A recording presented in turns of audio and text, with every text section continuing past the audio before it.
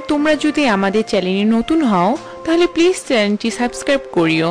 আর ভিডিওটি ভালো লাগলে একটা লাইক করে দিও। আজ তোমাদের জন্য একটি মজার গল্প নিয়ে আপনি যদি আমাদের চ্যানেলে নতুন হন, তাহলে প্লিজ চ্যানেলটি সাবস্ক্রাইব করুন। আর ভিডিওটি ভালো লাগলে লাইক ও কমেন্ট করতে ভুলবেন না।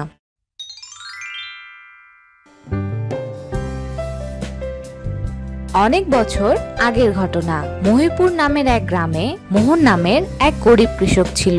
ওই গরিব কৃষকের কাছে অনেক ছোট একটা জমি ছিল, যেখানে চাষ করে সে জীবনযাপন করত। কিন্তু অনেক বছর ধরেই সেখানে ভালো ফসল হচ্ছেও না। একদিন নিরাশ হয়ে মোহন বলতে লাগল যে হায় রে আমার পোড়া কপাল এত কষ্টের পরও আমি এবছর ভালো ফসল ফলাতে পারলাম না। তখনই মোহনের নজর ক্ষেতের পাশে তৈরি সাপে পিলের দিকে পড়ল। আরে এটা কি?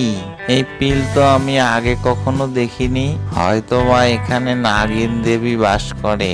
হতে পারে নাগিন দেবী আমার প্রতি নারাজ যার জন্য আমি জমিতে ফসল ফলাতে পারি না। মোহন এক বাটিতে দুধ নিয়ে আসে। মোহন বাটি ভর্তি দুধ পিলের পাশে রাখে আর বলে হে নাগিন দেবী আমার জানা ছিল না আপনি এখানে বসবাস করছেন। আজ থেকে আমি প্রতিদিন আপনার জন্য দুধ নিয়ে আসব। দয়া করে এটি গ্রহণ করুন। তারপর মোহন ওখান থেকে চলে যায়।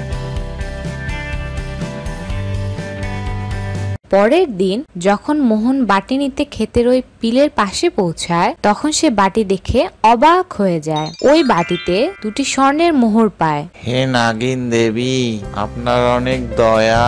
মোহন ওই স্বর্ণের মোহর নিয়ে বাটিতে আবার দুধ দিয়ে ভরে পিলের পাশে রেখে দেয়। পরের দিন যখন মোহন আবার বাটি নিতে পিলের পাশে আসে তখন মোহন বাটিতে সোনার বদলে দুটি পাথরের মোহর পায়। মোহন বাটি থেকে পাথরের মোহর নিয়ে বাটিটি আবার দুধ দিয়ে ভরিয়ে দেয় আর বাসায় চলে আসে। এভাবে করে অনেক দিন পার হয়ে যায়। মোহন কোনো সময় সোনার মোহর আর কোনো সময় পাথরের মোহর পায়। নাগিন দেবীর সাহায্যে মোহন অনেক ধনী হয়ে যায়। কিন্তু মোহনের স্ত্রী ছিল অনেক লোভ। আচ্ছা নাগিন দেবী প্রতিদিন সোনার মোহর কেন দেয় না? পাথরের মোহর দিলে আমাদের অনেক লস হয়ে যায়। আরে পাগলি নাগিন দেবী আমাদের অনেক কিছুই দিয়েছে। তার দয়ায় আজ আমরা অনেক ভালো আছি। নাগিন দেবী আমাদের যেটাই দেখ না কেন আমাদের খুশি খুশি গ্রহণ করা উচিত। একবার মোহন এক কাজের জন্য অন্য গ্রামে যায়। যাওয়ার আগে মোহন তার স্ত্রীকে প্রতিদিন নাগিন দেবীকে দুধ খাওয়ানোর কথা বলে দিয়ে যায়। পরের দিন যখন মোহনের স্ত্রী দুধ নিয়ে পিলের পাশে পৌঁছায় তখন সে দেখে পিলের পাশে বাটিতে দুটি পাথরের মোহর রয়েছে। সি সি সি আবারও পাথরের মোহর? সোনার মোহর দেয়নি কেন? নিশ্চয়ই এই পিলের নিচে সোনার খাজানা আছে। আজ আমি এসব খাজানা নিয়ে বাসায় যাব।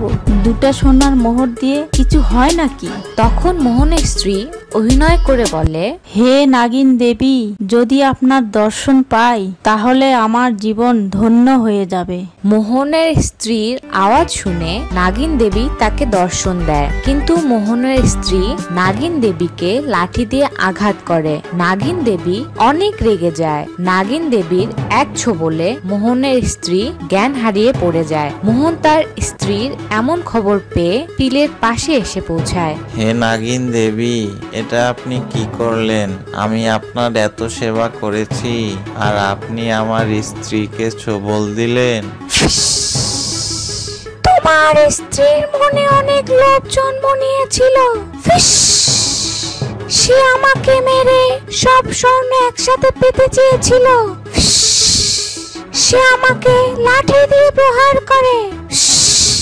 তার সাজা আমি তাকে দিয়েছি। এখন আমার কি হবে? হে ভগবান, এটা কি হলো? মোহনের কান্না দেখে নাগিন দেবী বলে যে, তুমি আমাকে লোভ ছাড়া অনেক সেবা যত্ন করেছ। তার জন্য আমি তোমার স্ত্রীর শরীর থেকে বিষ নামিয়ে নিচ্ছি। তবে আমি তোমার জমি থেকে সারা জীবনের জন্য চলে যাচ্ছি। নাগিন দেবীর চলে যাওয়ার পর মোহনের স্ত্রীর জ্ঞান ফিরে আসে। তো বন্ধুরা, এই গল্প থেকে এটা শিখলাম যে অনেক লোভ কখনো কখনো কল্যাণকর নয়। ভিডিওটি ভালো লাগলে একটি লাইক দিও আর বন্ধুদের সাথে শেয়ার করিও। এরপর দেখা হবে নতুন একটি পর্বে। সে পর্যন্ত সবাই সুস্থ থাকবে, ভালো থাকবে। ধন্যবাদ।